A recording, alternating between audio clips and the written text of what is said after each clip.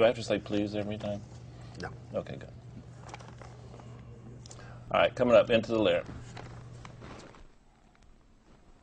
Oh, oh, you caught me with little David, my bobblehead. These are available for $4 million on eBay. That's cool, isn't it? Hey, listen, thanks for stopping by in the lair. In the lair is a segment that we're going to be showing you every week. And basically, what we want this segment to be about is things that you're interested in as an engineer, as a mixer, as a producer. And send your questions in to us. Uh, we'll tell you at the end of the show again uh, all the different ways you can get in touch with us. Let me know anything you want to know. Um, and I'll try and have a segment on it. On today's segment, we're not going to get in a lot of detail, but in the future, I'm going to talk to talk to you about parallel compression, about how to deal with a two bus, your stereo mix, the things I use, the things I know my friends use. Uh, a lot of detail. I'm actually going to show you presets and, and uh, techniques that I've used on on some of the records that you, you know me for. And uh, in general, I think this is going to be a segment that's going to be my favorite segment. So today what I wanted to do was there's some new stuff that's out. I just wanted to make you aware of that and just kind of set the groundwork for what, what, what we're going to do in the future. Now next week, uh, I haven't decided yet, but I, am either going to talk to you about parallel compression or about how I deal with a, with, uh, with a stereo bus. And um, you know what? Let's commit. Let's do the stereo bus next week. And uh, I'm going to expand it. I just read a, a, an amazing article about Michael Brauer, and I realized that, that there's some things I do a lot like him. And uh, I mean, Michael's one of the best, so I'm not trying to say that I do anything like him. But what I'm saying is some of his approaches in the analog world, uh, I've kind of got some techniques I've been using in the digital world that you might be interested in. So that's next week. And then uh, we're to have a, another great guest for you next week. Uh, there's a couple of people I want to get on the show. And anyway, we'll talk about that later. But right now, let me show you something. This is, the, this is a plugin that I'm really excited about. This is the new C6 plugin from Waves. Um, let me load up one of the presets that I, I, I've been experimenting with. I like this preset. It's called Electronic uh, Drum Kit. This thing is amazing. Basically, think of it as um, six equalizers that, that, that not only can you control gain and bandwidth and select the frequency, but you can compress within that frequency range. It's very, very, very powerful tool. I'm telling you, this is a really good plug-in. Another new plug-in that I like by Waves is uh, my buddy Tony Maserati. He's got a series that uh, that uh, is just musical. It just works. It's really an amazing series of plugins. This is a this is the one uh, that that's the vocal plugin, and I find that just about everything on it's usable. Another new plugin I want you to check out is this Chris Lord Alge plugin. This is the vocal and also I just mixed. Um, uh, I just mixed a, a, a, Gloria Trevi and Paulina Rubio record, two amazing, amazing artists from, from Latin America, uh, two of my favorite artists, uh, a record written and produced by my friend Sebastian. Uh, amazing producer. Everything's amazing today, I guess you've noticed. But uh, anyway, uh, Sebastian had this plug-in on the session when I got it, and I knew it was a great plug-in, but he had tweaked it, and it was really, really something that made my life a lot easier. And as all you know that know me really well, that's a very important goal in your life that you should make it a priority. Another plug-in that I'm just really thrilled about is this DSP plug-in. This is brand new. Uh, they call it the 6030. Uh, this show's going to air. This show airs Thursday. Saturday would be the NAMM show. Colin's going to talk about this plugin, so we'll find out. But this is basically uh, uh, you get all these different compressors in one, and what Colin has tried to do is he's tried to, uh, not tried, but what he's done is he's developed a plugin that you can get all these different classic compressors at your fingertip. But not only do you get the classic compressor, but you get a McDSP take on those compressors. So if you want to have the exact compressor, go buy the damn thing. If you want something better, grab this. And if you can't afford six or seven or ten Fairchilds, uh, what are they now? 60 grand a piece. So if you don't have $600,000 for 10 Fairchilds, grab this plug-in. I think it only goes for about 400,000. But anyway, I'm gonna run through these real quick. Uh, Zan, if you can check this out, this is this is amazing. So this is this is uh, another one. This is another one.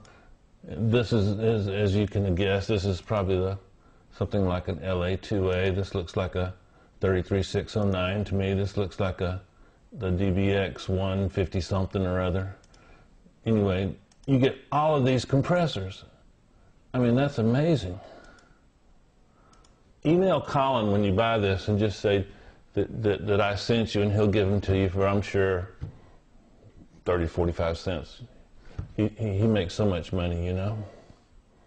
Actually, that brings up a good point. Don't be, don't be, don't be using crack stuff. Speaking of Colin, my buddy, this is a plug-in that that's not. I wouldn't call this new, but what I would call it is one of the newer ones that a lot of people don't know about. This plug-in is called Futzbox. It will emulate pretty much anything on earth that, that creates a sound. And what I, what what what I use this for is to add harmonics and color to a sound. Uh, it, it, it, it's, it's truly amazing. You got to check this out.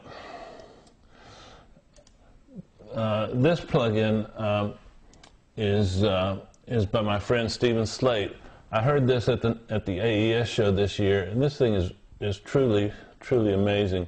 Uh, another one of my friends, Fabrice Gabriel, uh, worked on this also. If you get a chance, check out Fabrice's plugins. They're called iOSIS. Eiosis, E-I, E-I-O-S-I-S.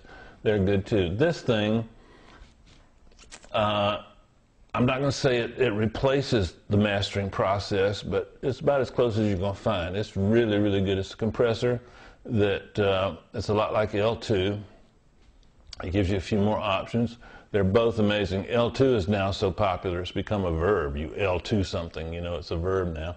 But this plugin does something similar, but gives you a little more control and a different feel, a different sound if you want another option. I love this plugin.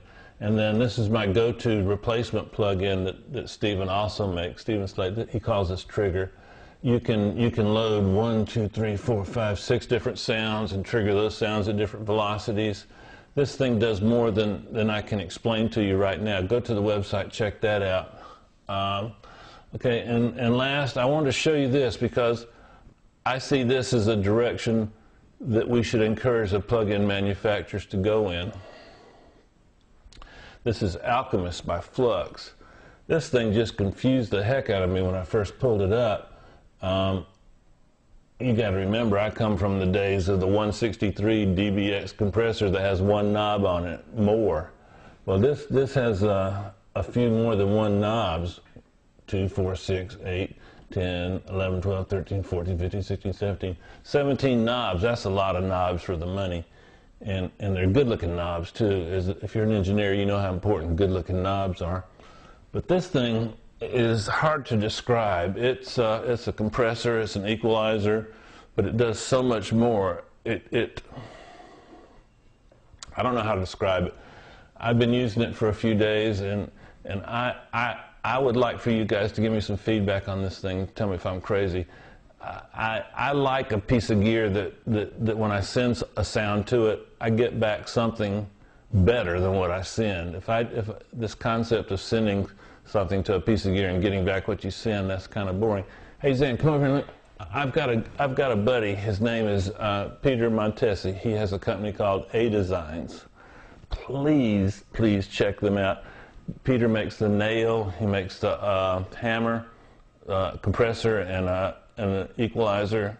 Uh, they're very unique. They, they fill a, a really neat gap and, void in what's available out there. These are a couple of little 500 series pieces that he makes. I hope you can see them in the light. But this, if you look at closely, you'll notice that, I don't know if you can see it. Let me see if I can get a close up for you, Zan. Can you see that, Zan? Is it upside down? No, good. if you'll notice, it's a damn little bitty tiny uh, Pultec. Look at the knobs. It's just like pull, everything's identical to a Pultec.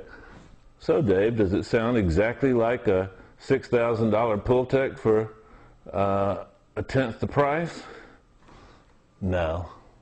But I got I got a bunch of Pultecs. I don't need that. I need this. This is a cool piece of gear because a lot of us now have an empty spot in our 500 series racks, and this fits right into the same uh, racks that the APIs fit into, and the B&Bs and a bunch of other stuff. But I, have used this. I've used this on several records.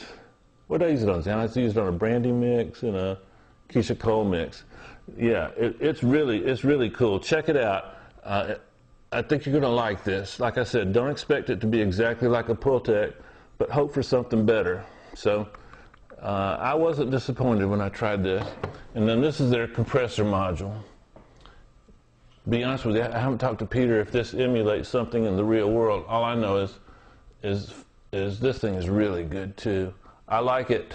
Um, the places where I would use um, oh, an Avalon compressor, the places where I'd use, uh, I don't know how to describe it, but anyway, try it. Try it, you'll like it. It's, um, it's good on vocals, it's good on drums, kicks and snares. It's great on, on keyboards and stuff like that. You'll really like it. So that's pretty much what we're going to do today. Like I told you, you got my word. The next, the next uh, into the lair sessions, we're going to really uh, we're going to really get deep. So, so, so this is the segment for the hardcore people. We, we've got some segments coming up uh, that, that you're going to like that, that still have information. But if you're just starting out, uh, this, this segment is going to be the segment for you. If you've been engineering and you have a trillion platinum records, I think you'll find this segment also uh, valuable. You might learn something too. So uh, in the future, we might have, uh, not might, but we are going to have some guests just exclusive to this segment. So, so I don't want you to be bored with what I do, but we're going to bring in some other engineers and have them talk about some of their spe- specific techniques. Anyway, thank you so much, and uh, back.